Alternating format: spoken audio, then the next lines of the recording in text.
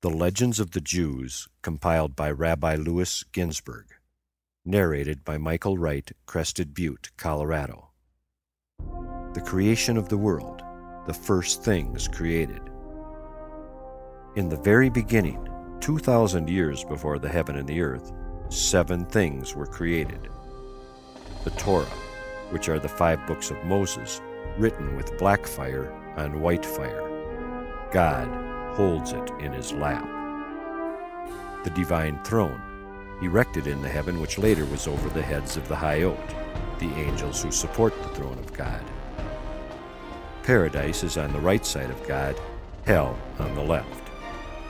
The celestial sanctuary sits directly in front of God and has a jewel on its altar engraved with the name of the Messiah, and a voice that cries aloud, Return, you children of men.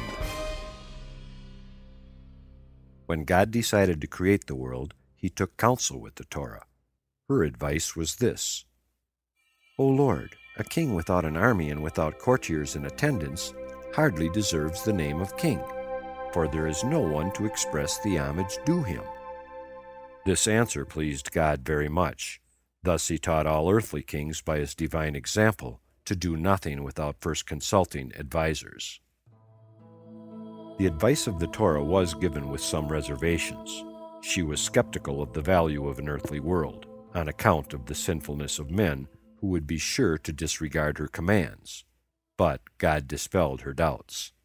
He told her that repentance had been created long before, and sinners would have the opportunity of mending their ways. Besides, the temple service would have atoning power. And finally, the Messiah was appointed to bring salvation which would put an end to all sinfulness. Ours is not the first of the worlds created by God. He made several worlds before ours, but he destroyed them all, because he was pleased with none until he created ours. But even our world would have been destroyed if God had kept with his original plan of ruling it by the principle of strict justice.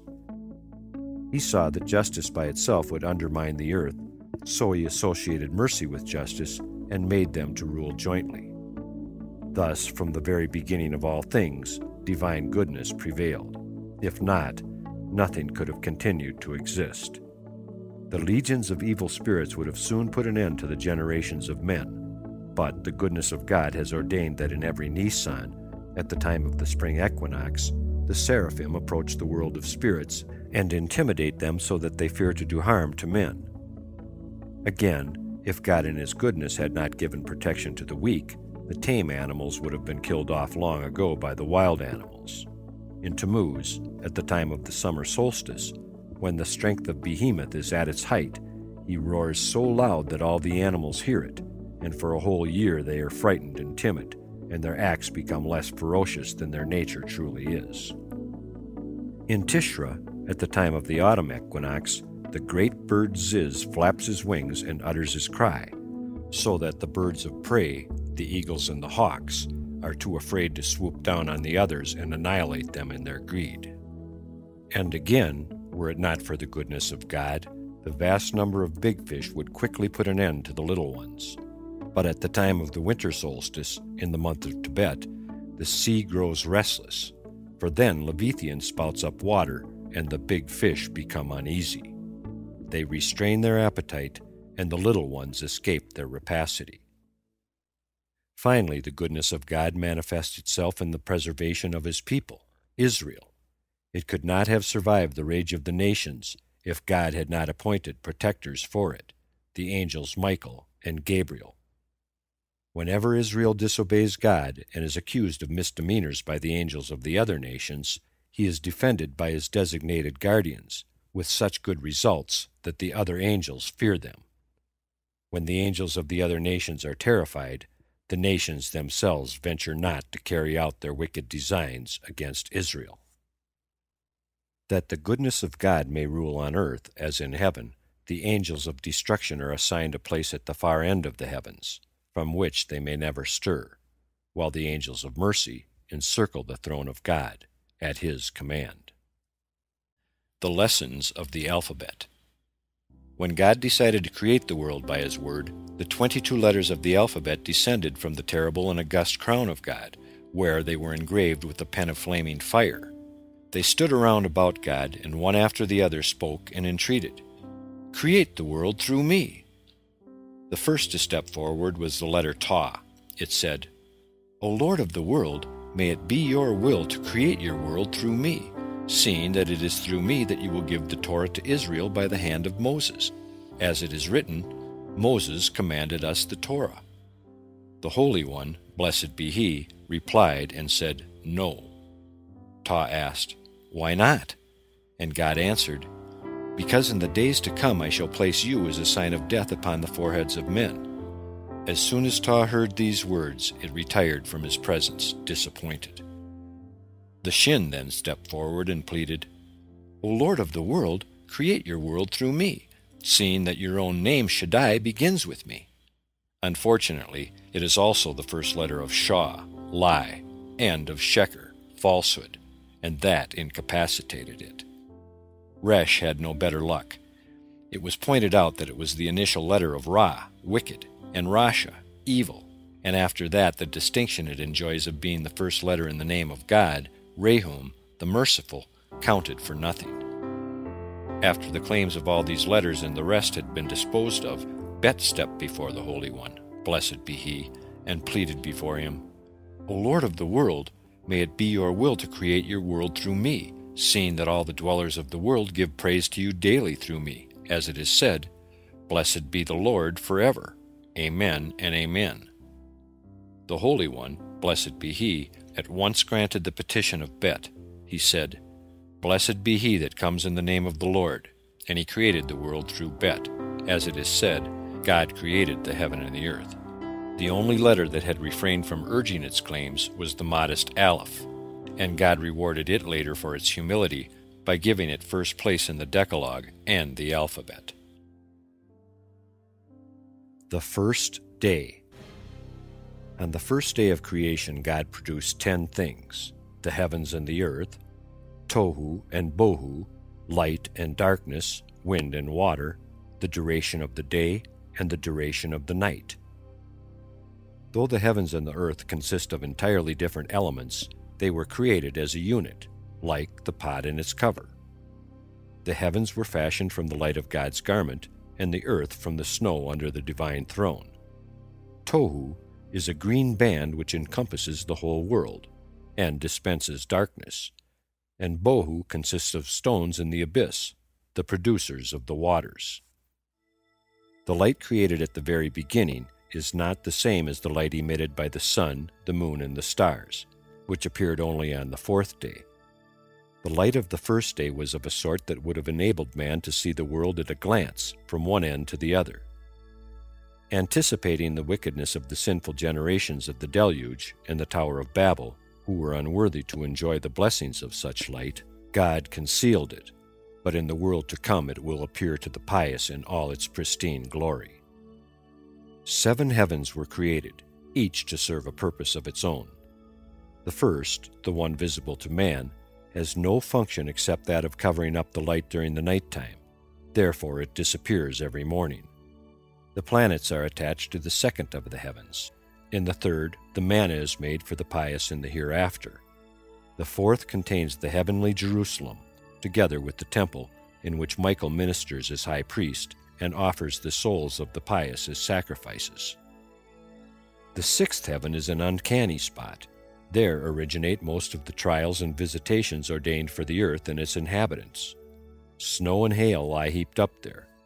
There are lofts full of noxious dew, storerooms stocked with storms, and cellars holding reserves of smoke.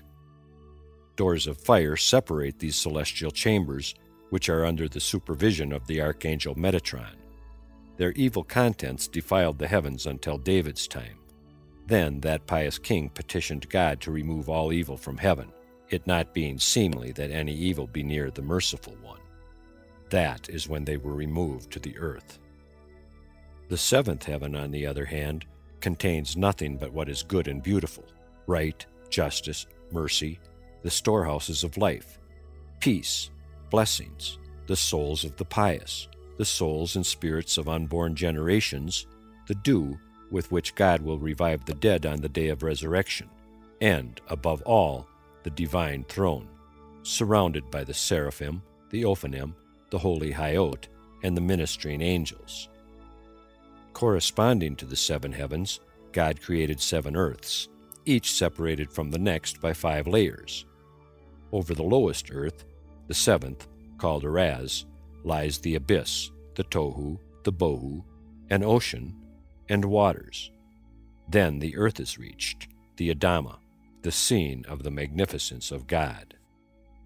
In the same way, the Adama is separated from the fifth earth, the Arka, which contains Gehenna and Sheol, and there the souls of the wicked are guarded by the angels of destruction. In the same way, Arka is followed by Haraba, the dry, the place of brooks and streams in spite of its name, as the next, the mainland, contains the rivers and springs. Tebel, the second earth, is the first mainland inhabited by living creatures, 365 species, all essentially different from those of our own earth. Some have human heads on the body of a lion, or a serpent, or an ox. Others have human bodies topped by the heads of one of these animals.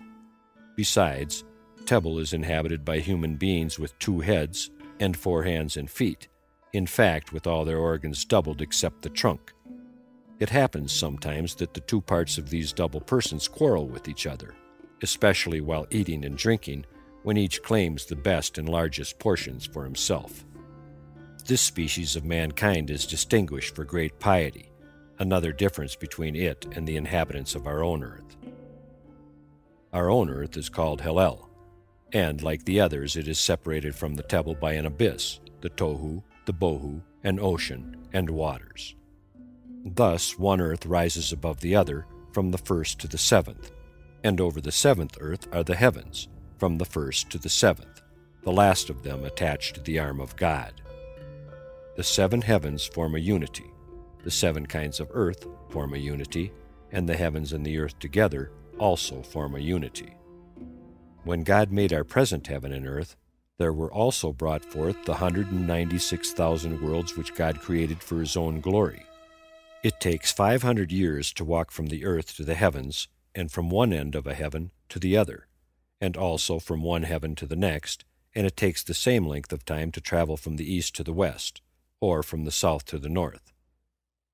Of all this vast world, only one third is inhabited, the other two thirds being equally divided between water and desert. Beyond the inhabited parts to the east is paradise, with its seven divisions, each assigned to the pious of a certain degree. The ocean is situated to the west, and it is dotted with islands upon islands, inhabited by many different peoples.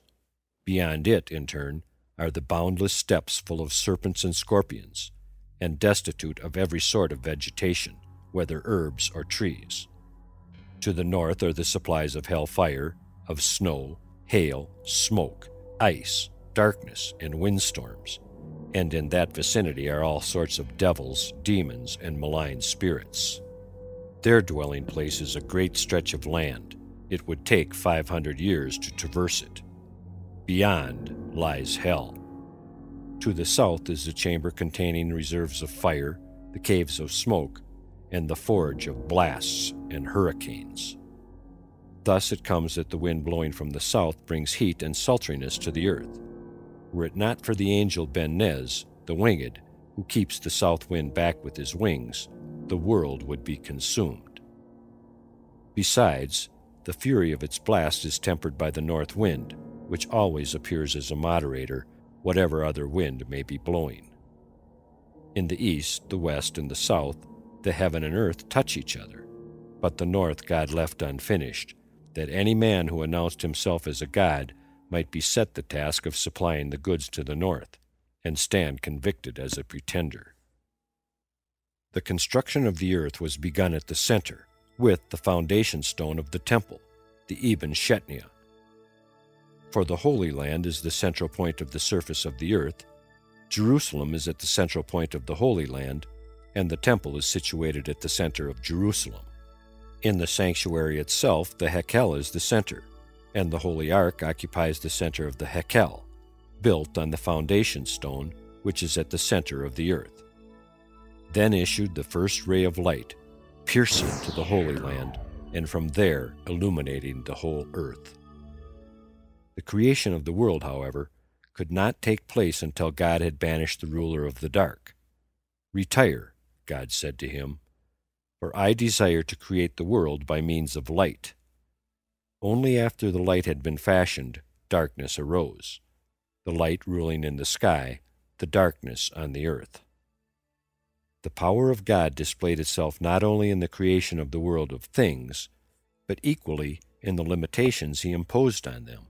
The heavens and the earth stretched themselves out in length and breadth as though they inspired to infinity, and it required the Word of God to call a halt to their expansion. The second day. On the second day, God brought forth four creations the firmament, hell, fire, and the angels. The firmament is not the same as the heavens of the first day.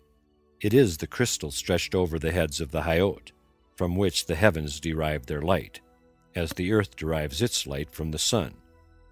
This firmament saves the earth from being engulfed by the waters of the heavens. It forms the partition between the waters above and the waters below. It was made to crystallize into a solid by the heavenly fire which broke its bounds and condensed the surface of the firmament. Thus, fire made a division between the celestial and the terrestrial at the time of creation, as it did at the revelation on Mount Sinai. The firmament is not more than three fingers thick. Nevertheless, it divides two such heavenly bodies as the waters below, which are the foundations for the nether world, and the waters above, which are the foundation for the seven heavens, the divine throne, and the home of the angels. The separation of the waters into upper and lower was the only act of the sort done by God in connection with the work of creation. All other acts were unifying. It therefore caused some difficulties. When God commanded, Let the waters be gathered together into one place, and let the dry land appear, certain parts refused to obey. They embraced each other all the more closely. In his wrath at the waters, God determined to let the whole of creation resolve itself into chaos again. He summoned the angel of the face and ordered him to destroy the world. The angel opened his eyes wide, and scorching fires and thick clouds rolled out from them, while he cried, Who does not obey God? And the rebellious waters stood still. The whole of everything, however, was still in danger of destruction. Then began the singer of God's praises. O Lord of the world, in days to come your creatures will sing praises to you without end. They will bless you boundlessly, and they will glorify you without measure. You will set Abraham apart from all mankind as your own. One of his sons you will call my firstborn, and his descendants will take the yoke of your kingdom upon themselves. In holiness and purity you will bestow your Torah upon them with the words, I am the Lord your God. Then they will answer, All that God has spoken we will do. And now I beseech you, have pity on your world, destroy it not. For if you destroy it, who will fulfill your will? God was pacified. He withdrew the command to destroy the world, but the waters he put under the mountains to remain there forever. The objection of the lower waters to division and separation was not their only reason for rebelling. The waters had been the first to give praise to God, and when their separation into upper and lower was decreed, the waters above rejoiced, saying, Blessed are we who are privileged to abide near our Creator, and near his holy throne. Jubilating so, they flew upward, and sang songs and praise to the Creator of the world. Sadness fell upon the waters below. They lamented, Woe to us! We have not been found worthy to dwell in the presence of God and praise Him together with our companions. Therefore, they attempted to rise upward until God repulsed them and pressed them under the earth. Yet, they were not left unrewarded for their loyalty. Whenever the waters above desire to give praise to God, they must first seek permission from the waters below. The second day of creation was an awkward day, in more than it introduced a division where before there had been only unity, for it was the day that also saw the creation of hell. Therefore, God could not say of this day as of the others that it was good. A division may be necessary, but it cannot be called good, and hell surely does not deserve the attribute of good. Hell has seven divisions, one beneath the other.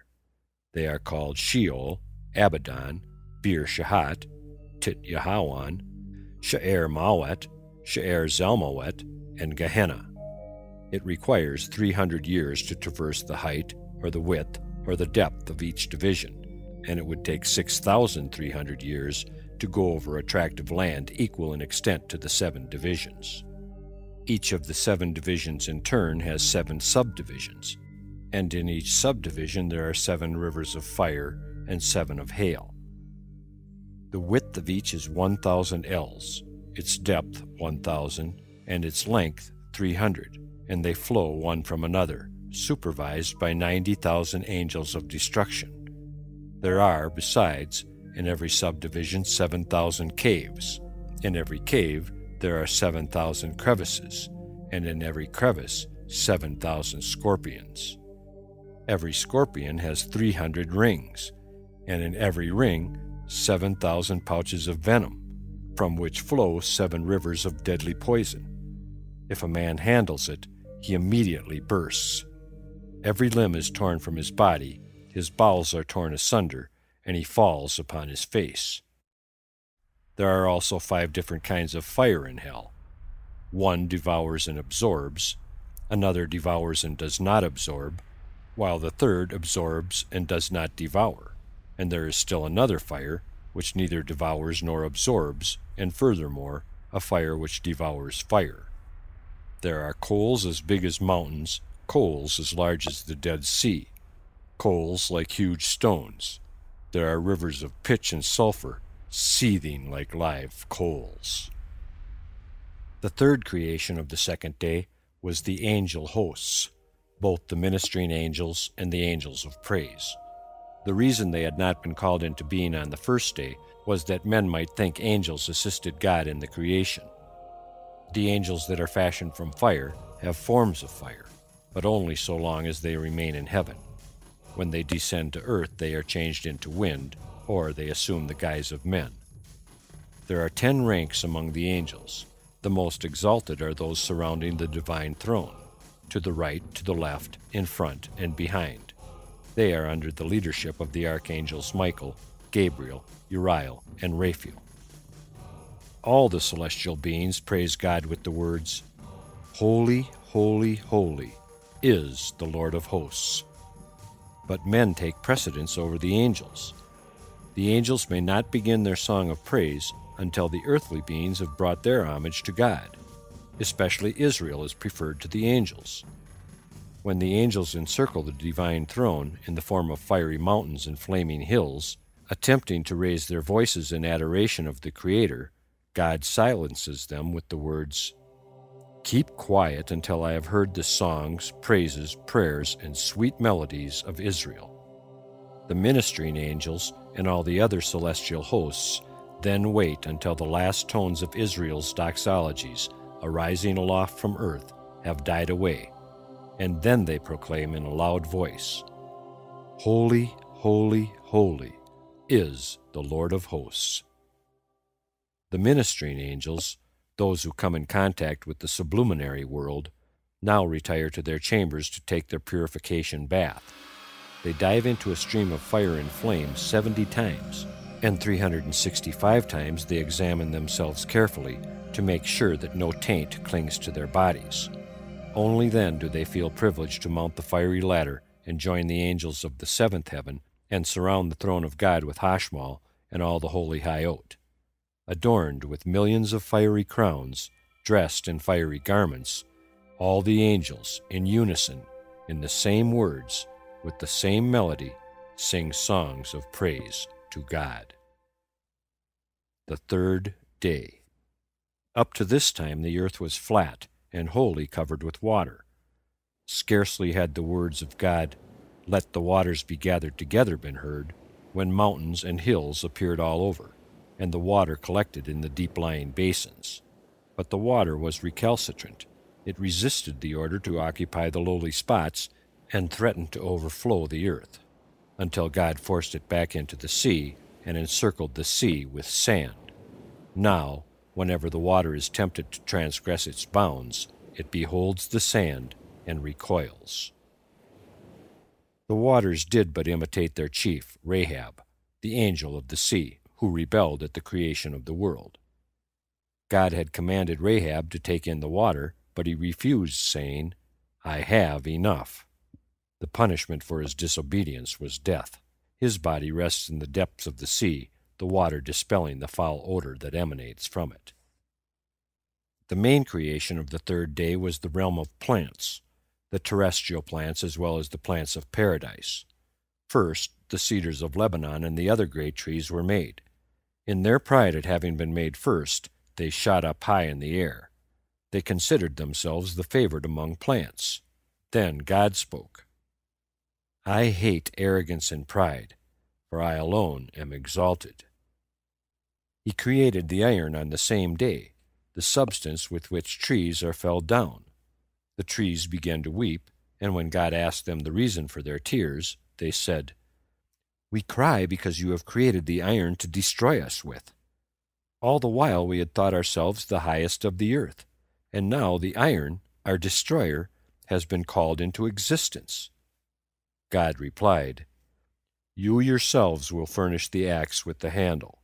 Without your assistance, the iron will be unable to do anything against you. The command to bear seed after their kind was given to the trees alone. But the various sorts of grass reasoned that if God had not desired divisions according to classes, he would not have instructed the trees to bear fruit after their own kind, especially as trees are inclined of their own accord to divide themselves into species. The grasses, therefore, reproduce themselves also after their kinds. This pleased everyone, and prompted the exclamation of the Prince of the world Let the glory of the Lord endure forever. Let the Lord rejoice in his works. The most important work done on the third day was the creation of paradise. Two gates of carbuncle form the entrance to paradise, and sixty myriads of ministering angels keep watch over them. Each of these angels shines with the luster of the heavens. When the just man appears before the gates, the clothes in which he was buried are taken off him, and the angels array him in seven garments of clouds of glory and place upon his head two crowns, one of precious stones and pearls, the other of gold. And they put eight myrtles in his hands, and they utter praises before him and say to him, Go your way and eat your bread with joy. Then they lead him to a place full of rivers, surrounded by eight hundred kinds of roses and myrtles. Each one has a canopy according to his merits, and under it flow four rivers one of milk, the other of balsam, the third of wine, and the fourth of honey. Every canopy is overgrown by a vine of gold, and thirty pearls hang from it, each of them shining like Venus. Under each canopy there is a table of precious stones and pearls, and sixty angels stand at the head of every just man, saying to him, Go and eat with joy of the honey, for you have busied yourself with the Torah, and she is sweeter than honey and drink of the wine preserved in the grapes since the six days of creation, for you have busied yourself with the Torah, and she is compared to wine. The least fair of the just is as beautiful as Joseph, and as the grains of a silver pomegranate upon which the rays of the sun fall. There is no light, for the light of the righteous is the shining light. And they undergo four transformations every day, passing through four states in the first, the righteous is changed into a child. He enters the division for children and tastes the joys of childhood. Then he is changed into a youth and enters the division for the youths, with whom he enjoys the delights of youth. Next, he becomes an adult in the prime of life, and he enters the division of men and enjoys the pleasures of manhood. Finally, he is changed into an old man. He enters the division for the old and enjoys the pleasures of age. There are eighty myriads of trees in every corner of paradise, the least among them better than all the spice trees. In every corner there are sixty myriads of angels singing with sweet voices, and the tree of life stands in the middle and shades the whole of paradise. It has 15,000 tastes, each different from the other, and the perfumes vary likewise. Over it hang seven clouds of glory, and winds blow upon it from all four sides, so that its odor is wafted from one end of the world to the other. Underneath sit the scholars that explain the Torah. Over each of them, two canopies are spread, one of stars, the other of sun and moon. And a curtain of clouds of glory separates one canopy from the other. Beyond paradise begins Eden, containing 310 worlds and seven compartments of different classes of the pious. In the first are the martyr victims of the government, like Rabbi Akiba and his colleagues. In the second are those who were drowned. In the third, Rabbi Johanan ben Sakkaiah and his disciples. In the fourth, those who were carried off in a cloud of glory. In the fifth, the penitents, who occupy a place which even a perfectly pious man cannot obtain. In the sixth are the youths who have not tasted of sin in their lives. In the seventh are those poor who studied Bible and Mishnah and led a life of self respecting decency. God sits in the midst of them and expounds the Torah. As for the seven divisions of paradise, each of them is twelve myriads of miles in width and twelve myriads of miles in length. In the first division dwell the converts who embrace Judaism of their own free will, not from compulsion. The walls are of glass and the paneling of cedar. The prophet Obadiah, himself a convert, is the overseer of this first division. The second division is built of silver, and the paneling is of cedar.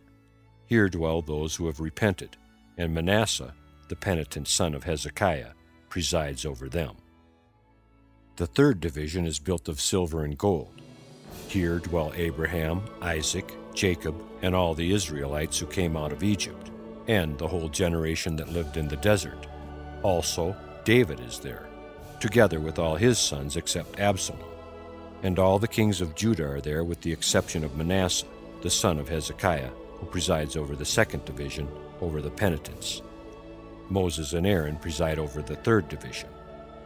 Here are precious vessels of silver and gold, and jewels, and canopies, and beds, and thrones, and lamps, gold, precious stones, pearls, the best of everything there is in heaven.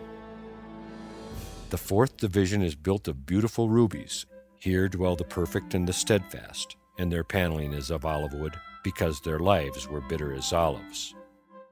In the fifth division flows the river Gihon. The paneling is of silver and gold, and a perfume breathes through it, more exquisite than the perfume of Lebanon. The coverings of the silver and gold beds are made of purple and blue, woven by Eve of scarlet, and the hair of goats woven by angels. Here dwells the Messiah, on a couch made of the wood of Lebanon. The pillars of silver, the bottom of gold, the seat of purple. With him is Elijah. Elijah takes the head of the Messiah and places it in his bosom, and says to him, Be quiet, for the end is near. On every Monday, Thursday, and Sabbath and holiday, the patriarchs come to Messiah and the twelve sons of Jacob and Moses, Aaron, David, Solomon, and all the kings of Israel and Judah, and they weep with him and comfort him, saying to him, Be quiet, put trust in the Creator, for the end is near. Also, Korah and his company, Dathan, Abiram, and Absalom, come to him every Wednesday and ask, How long before the end comes full of wonders? When will you bring us back to life again? The Messiah answers them, Go to your fathers and ask them. When they hear this, they are ashamed and do not ask their fathers.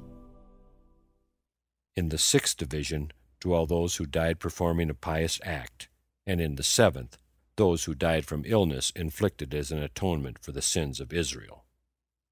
Next, the fourth day.